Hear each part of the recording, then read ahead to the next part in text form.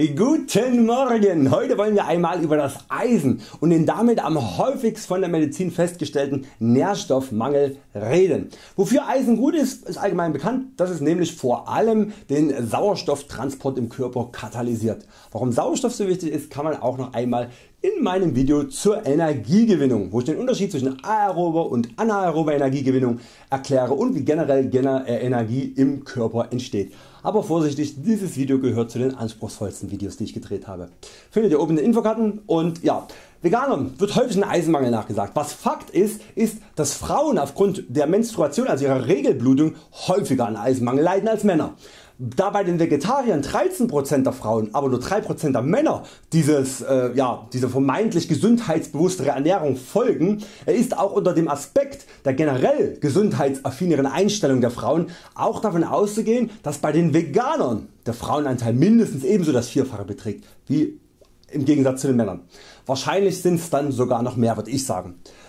Da haben nicht die Veganer einen höheren Eisenmangel, sondern in allererster Linie die Frauen. Das sollte man äh, wirklich in dieser Diskussion auch mal bewusst machen. Aber natürlich wird diese These des die Veganer am Eisenmangel auch noch dadurch gestützt, dass in tierischer Nahrung auch zweiwertiges Eisen vorkommt was eine Bioverfügbarkeit, also die Fähigkeit des Körpers den, den Nährstoff äh, zu verwerten von 15 bis 35% hat und im pflanzlichen Lebensmittel eben nur dreiwertiges Eisen, welches eine Bioverfügbarkeit von 2 bis 20% hat, vorkommt.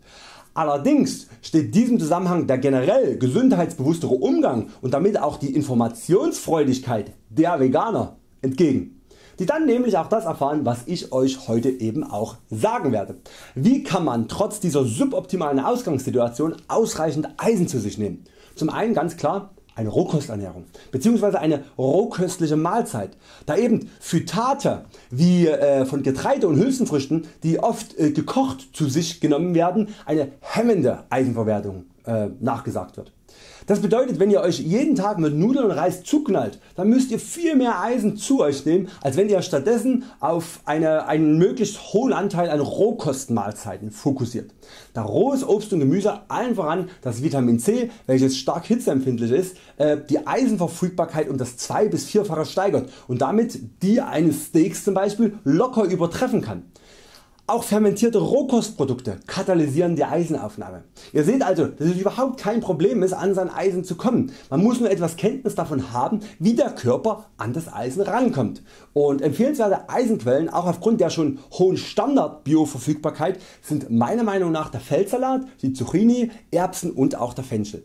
Denn der reine, Reise, reine Eisengehalt ist oft trügerisch, da er wie gesagt von 2 bis 20% variieren kann. Spinat hat zum Beispiel sehr viel Eisen, aber kann nur 2 bis maximal 5% aufgenommen werden. Letztlich kann man sagen, dass in sehr vielen Gemüsesorten Eisen enthalten ist und man eigentlich nicht explizit darauf achten muss. Äh, nur dass man eben nicht unbedingt zeitgleich hemmende Nahrungsmittel aufnimmt, wie eben äh, die Phytate oder einfach generell sich mit einem ja, hohen Rohkostanteil ernährt. Da kann man eigentlich schon gar nichts mehr falsch machen.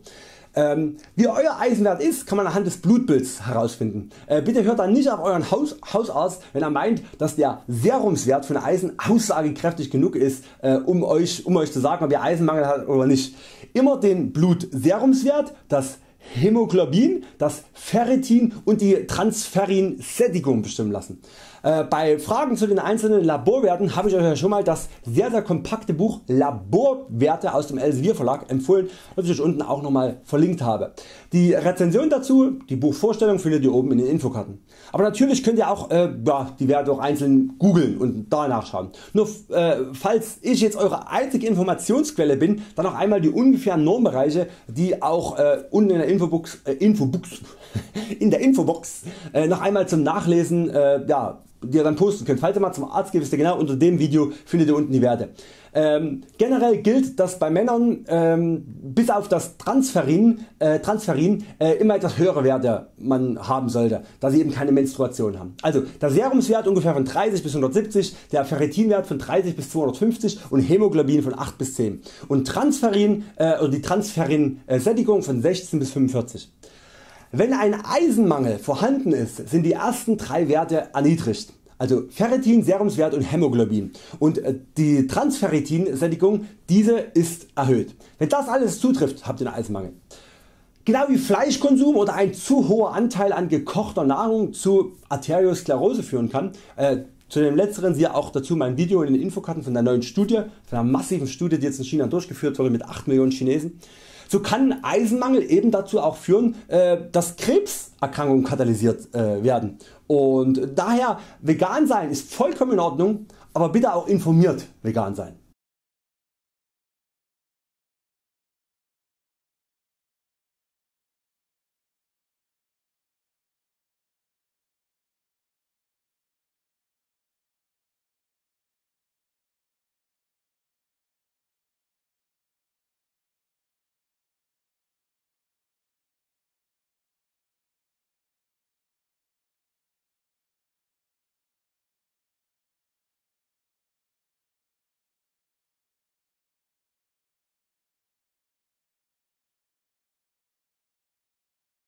Am Donnerstag wieder der Live Talk aus dem Bett inklusive Dreads häkeln und meditativen Schweigen.